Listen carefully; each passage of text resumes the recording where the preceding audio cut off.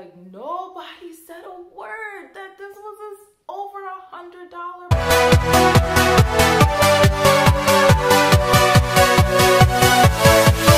Yeah.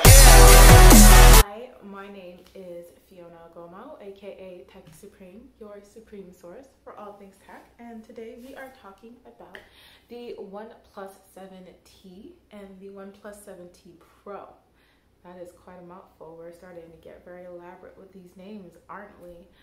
Um, so yeah, I have been just looking at a lot of the rumors and the um, leaks that have come out about OnePlus's upcoming affordable flagships that are expected to release in the end of September. The launch dates are set for the end of September, potentially September 26th.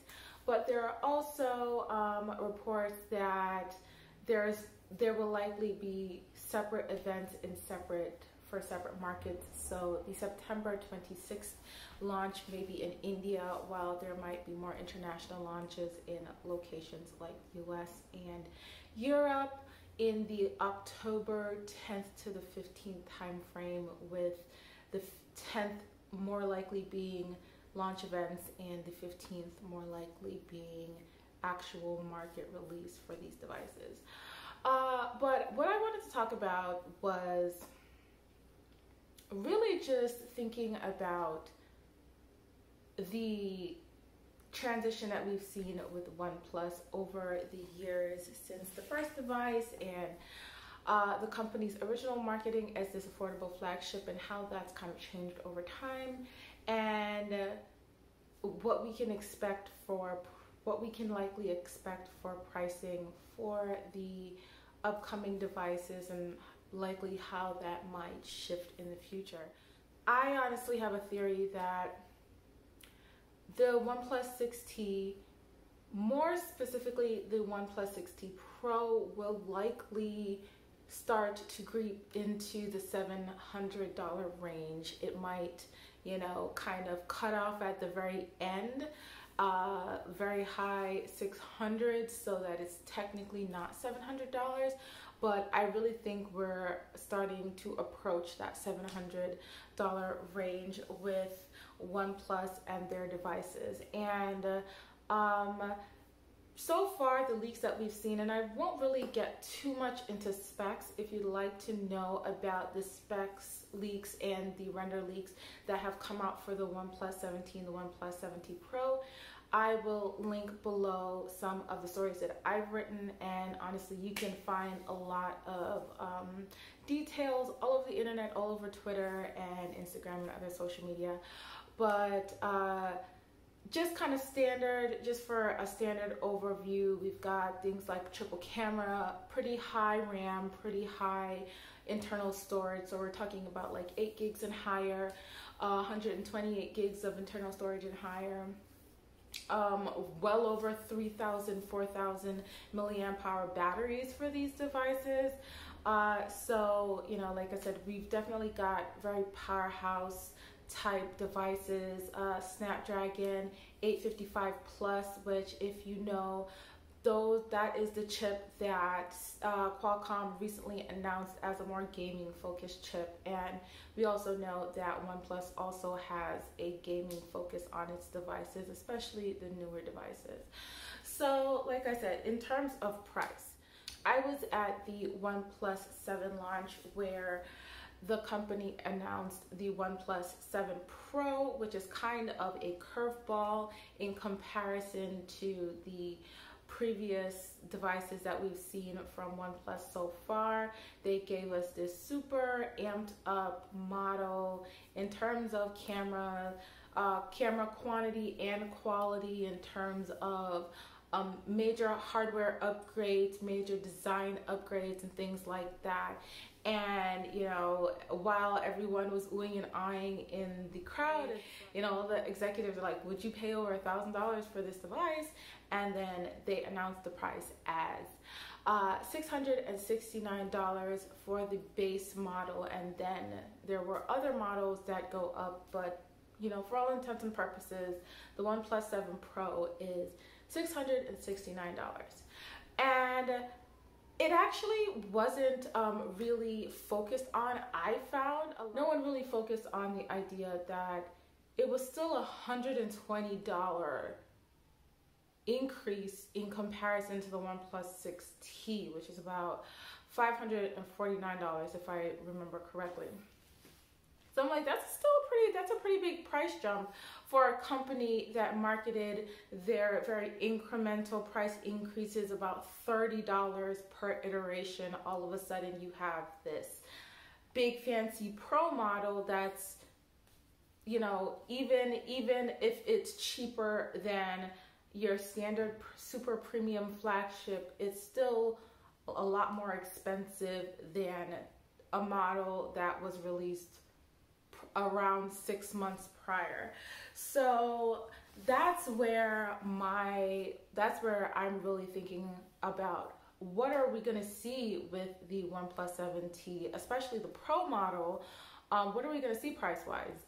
Because you know, again, like that's I feel like that's where we really just have a question mark. If if OnePlus kind of goes back to their old uh, $30 incrementation, even with that, if they just add $30 to the price of the OnePlus 7T, uh, and again, the 7T Pro in particular, that is $699 right there. That's a $700 phone. Uh, so, and, and again, you know, for all intents and purposes, you know, we've got some pretty uh, solid specs that we're seeing leaked, but, you know, from the jump from the 6T to the 7 the 7 series to the 7T series, the 7 the 7 to the 7T series is not that big of a jump. It's definitely not as big as a jump from the 6T to the 7.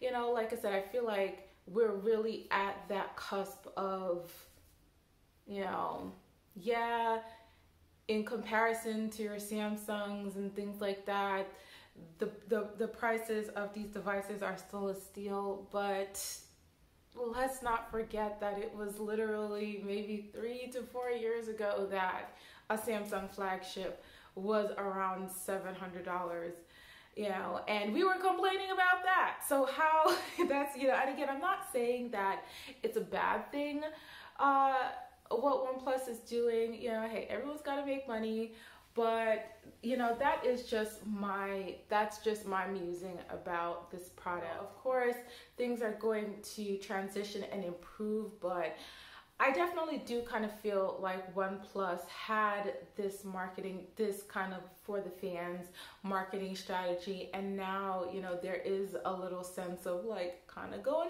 a little bit more corporate than anybody even expected. I, but there really is just the idea of honestly i i honestly do kind of feel like there is a little bit of a wool over the eyes type of feel about what's happened between between last year and now.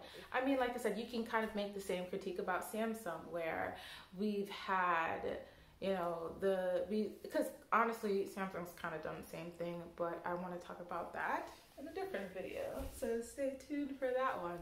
Uh, but what I can talk about is even like the, the, the Galaxy S series where we have like the, the standard S10 and the S10 Plus and then we have the S10e which is supposed to be like the budget model and that's $750 but it's like, it's still like who really has $750 to blow on a budget device? Like, you know, you can literally make that same comparison about the big the big big guys that you can now potentially make about OnePlus and I really think that the 7 Pro was that really like cusp and demarcation of where you can be like okay they've packed a ton of power into this device and the the price is justifiably low and I honestly do think that what honestly, the commentary that I actually do want to make is not even a critique against OnePlus. It honestly is a prediction that if we see this model